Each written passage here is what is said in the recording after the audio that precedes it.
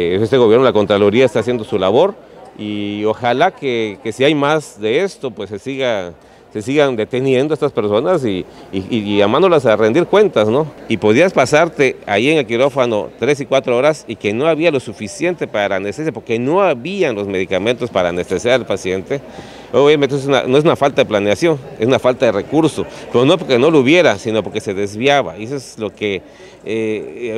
también el secretario de Salud actual, eh, Álvaro Arceo Ortiz, nos lo ha platicado, llegó y era un desabasto impresionante de lo que había de, medicamentos en todos los centros de salud, en todos los hospitales regionales, o sea, los este, foráneos, entonces en donde se daba lo mínimo indispensable, pero no había